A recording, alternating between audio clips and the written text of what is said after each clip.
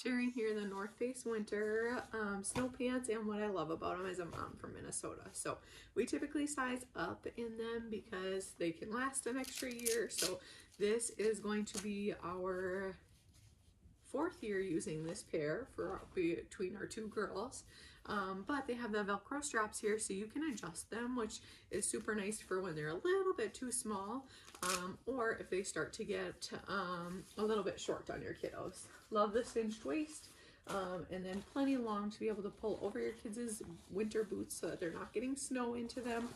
And I really love that they, excuse me, have on the bottom cinching so that then you can put that around your kids' boots because here in Minnesota, that's a common concern is getting snow in your kids' boots. Um, they hold up super, super well. Many cute prints. Um, we have the matching coat for this and they last so long. So highly recommend if you need a warm pair for winter.